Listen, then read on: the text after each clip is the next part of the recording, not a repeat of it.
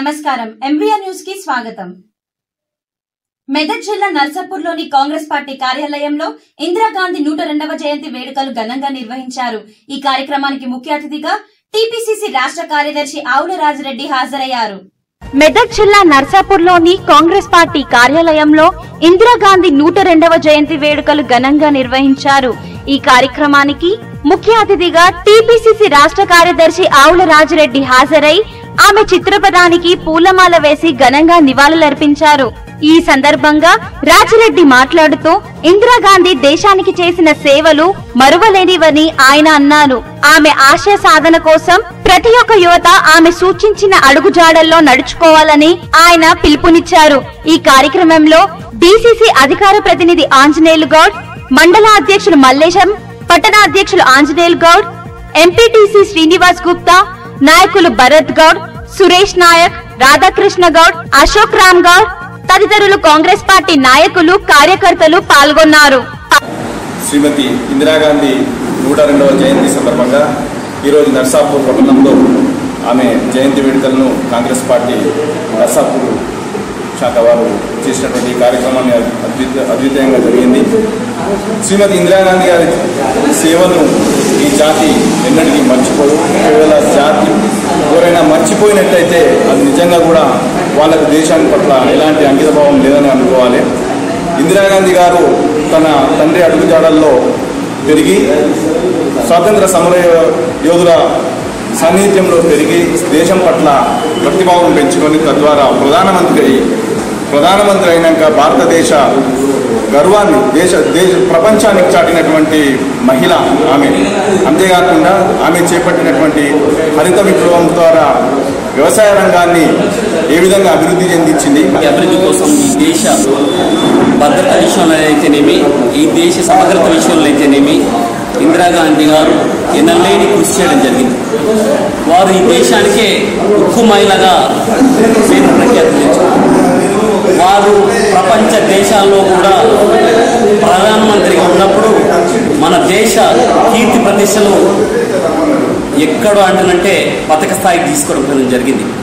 ఇందిరాగాంధీ గారు ఈరోజు కొంతమంది రాజకీయ దురుద్దేశాలతో రాజకీయాలు చేసిన ఇందిరాగాంధీ గారు ఈ దేశం కోసం ఈ దేశ ప్రజల కోసం ఈ దేశ సమగ్రత కోసానికి పనిచేసిందని చెప్పతక్కదు ఎందుకంటే ఇందిరాగాంధీ గారు కాంగ్రెస్ పార్టీ పట్ల కానీ వారు చేసిన కృషి ఎనలేనిది ఇందిరాగాంధీ గారు చేపట్టిన పథకాలే ఈరోజు పేద ప్రజలకు అందుతున్నాయి.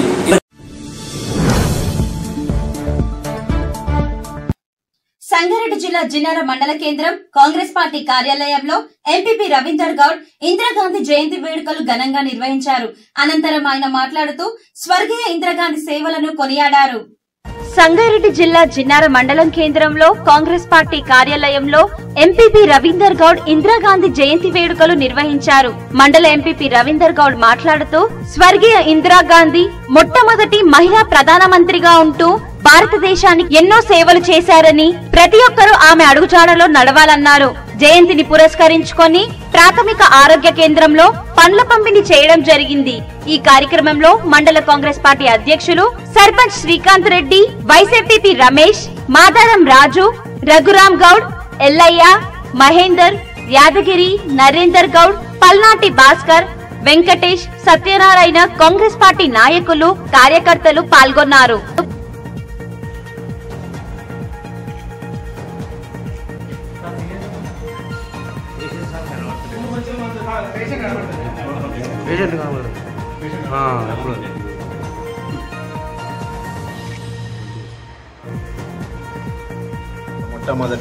మహిళా ప్రధానమంత్రి శ్రీమతి ఇందిరాగాంధీ గారు జయంతి సందర్భంగా ఈరోజు మన చిన్నారం మండలంలో ఉన్నటువంటి హాస్పిటల్లో పండ్లు పం పండ్లు పంపిణీ చేయడం జరిగింది.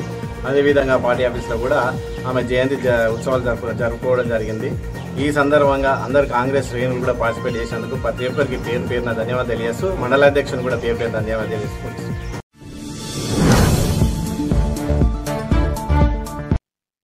అక్రమ వ్యాపారాన్ని నిర్వహిస్తూ నిషేధిత గుట్కా పొగాకు ఉత్పత్తులను నిల్వ ఉంచిన ఓ ఇంటిపై విశ్వసనీయ సమాచారంతో దాడి చేసి భారీగా నిల్వ ఉంచిన పొగాకు ఉత్పత్తులు నిషేధిత గుట్కా విదేశీ cigarette ప్యాకెట్లను Ramachandrapuram unit vigilance and enforcement అధికారులు స్వాధీనం చేసుకున్నారు.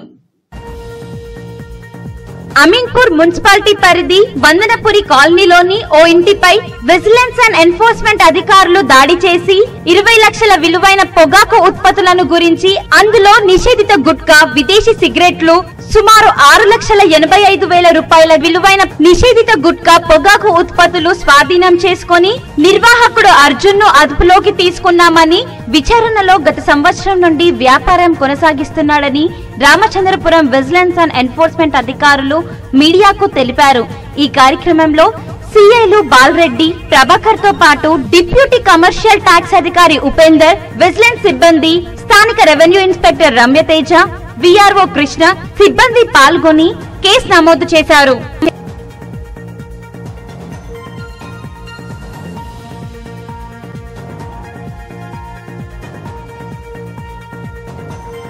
అమీన్పూర్ మున్సిపాలిటీ పరిధి వందనపురి కాలనీలోని ఓ ఇంటిపై విజిలెన్స్ అండ్ ఎన్ఫోర్స్మెంట్ అధికారులు దాడి చేసి ఇరవై లక్షల విలువైన పొగాకు ఉత్పత్తులను గురించి అందులో నిషేధిత గుట్కా విదేశీ సిగరెట్లు సుమారు ఆరు లక్షల ఎనభై ఐదు వేల రూపాయల విలువైన నిషేధిత గుట్కా పొగాకు ఉత్పత్తులు స్వాధీనం చేసుకొని నిర్వాహకుడు అర్జున్ను అదుపులోకి తీసుకున్నామని విచారణలో గత సంవత్సరం నుండి వ్యాపారం కొనసాగిస్తున్నాడని రామచంద్రపురం విజిలెన్స్ అండ్ ఎన్ఫోర్స్మెంట్ అధికారులు మీడియాకు తెలిపారు.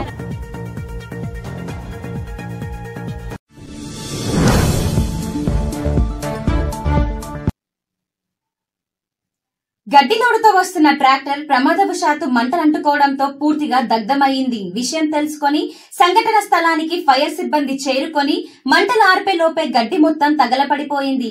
ఈ సంఘటన నర్సాపూర్ పట్టణంలో చోటు చేసుకుంది. మెదక్ జిల్లా నర్సాపూర్ పట్టణంలో ప్రమాదవశాత్తు గడ్డి లోడుతో వస్తున్న ట్రాక్టర్కు తగిలి నూట ఇరవై గడ్డి మోపులు పూర్తిగా దగ్ధమయ్యాయి. విషయం తెలుసుకున్న ఫైర్ సిబ్బంది వెంటనే చేరుకొని మంటలను ఆర్పే ప్రయత్నం చేసినా అవి పూర్తిగా కాలి బూడిదైపోయాయి. దీంతో రైతు మల్లేష్ యాదవ్ పన్నెండు వేల నష్టం జరిగిందని రైతు తెలిపారు. విషయం తెలుసుకున్న ఎస్ఐ సత్యనారాయణ అక్కడికి చేరుకొని పరిస్థితిని గమనించి పలు సూచనలు సలహాలు చేశారు.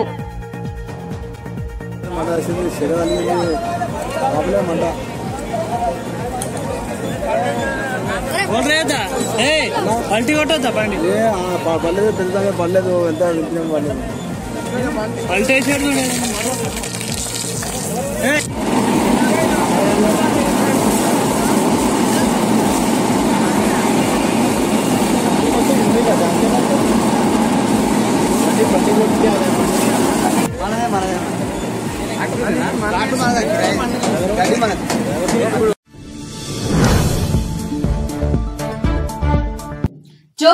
గద్వాల్ జిల్లా బీచ్పల్లి ఆయిల్ ఫామ్ ప్లాంట్ వద్ద వ్యవసాయ శాఖ మంత్రి నిరంజన్ రెడ్డి పామ్ ఆయిల్ మొక్కలను నాటారు. మంత్రి సింగిరెడ్డి నిరంజన్ రెడ్డి మాట్లాడుతూ ఆయిల్ ఫామ్ ప్లాంట్ వల్ల రైతులకు ఎలాంటి నష్టం వాటిల్లదని వన్యప్రాణుల నుండి ఎలాంటి ఇబ్బందులు ఉండవని మంత్రి తెలిపారు.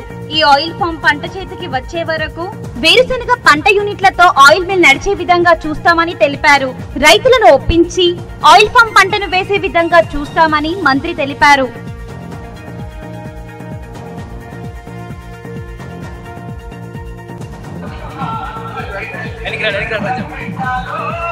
జోగులాంబ గద్వాల్ జిల్లా బీచ్పల్లి ఆయిల్ ఫామ్ ప్లాంట్ వద్ద వ్యవసాయ శాఖ మంత్రి నిరంజన్ రెడ్డి పామ్ ఆయిల్ మొక్కలను నాటారు.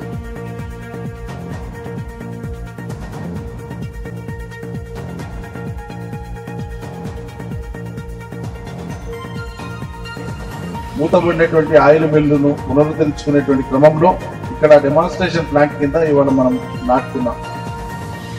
ఒక రెండు అంశాలను ముందు వివరిస్తే రైతులు ఆసక్తిగా ఎదురు చూస్తున్నటువంటి అంశం. ఇన్ని విషయాలు మనం ఎన్ని చెప్తున్నా వాళ్ళ మనసు ఇంకో దాని మీద ఉంది కాబట్టి అసలు విషయం విడిచిపెట్టి ఇవన్నీ చెప్తున్నారేమో ఇంతకు మా మిల్లు సంగతి ఏంది? ఇది నడుస్తుందా? ఎప్పుడు నడుస్తుంది? ఎప్పుడు ఎంప్లాయ్మెంట్ వస్తుంది? ఏం జరుగుతుంది? దీని మీద ఎక్కువ మంది కాశం ఉంది. అవునా? అంతే కదా? తప్పకుండా. నేను ఇందాకే గౌరవ ఎండి గారితో మాట్లాడుతూ వాళ్ళు వారిని రిక్వెస్ట్ చేసినాను.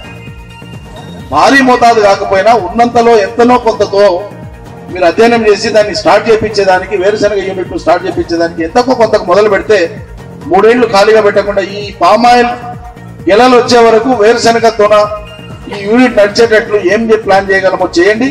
ఒకవేళ ఆయిల్ ఫెడ్ మీరు పెట్టుబడి పెట్టే కాడ మీకు ఏదైనా కొంచెం వెనక ముందు అయితే నేను దానికి స్పెషల్ ఫండ్ రాష్ట్ర ముఖ్యమంత్రి గారిని అడిగి స్పెషల్ ఫండ్ కొంత ప్రొవైడ్ చేయడానికి కూడా నేను ప్రయత్నం చేస్తాను ఎస్డిఎఫ్లో తీసుకొని మీకు ప్రయత్నం చేస్తా. మీరు చొరవ చూపించా యూనిట్ స్టార్ట్ కావాలి. ఎందుకంటే అందరూ ఈ రోజు ఆశ పెట్టుకునేది ఎంత కూడా బీచ్పల్లి ఆయిల్ మిల్లు ప్రారంభం అవుతుందంటే రేపటి నుంచి మెషిన్లు నడిస్తే మాకు నౌకర్లు వస్తాయనేటువంటి ఆశ మీద ఉన్నారు. వస్తాయి కానీ రేపటి నుంచి కాదు. కాలక్రమంలో వస్తాయి. గ్యారంటీగా వస్తాయి. వచ్చే ఏర్పాటే చేద్దాం. దానికోసమే ఇంత శ్రమ పడేది.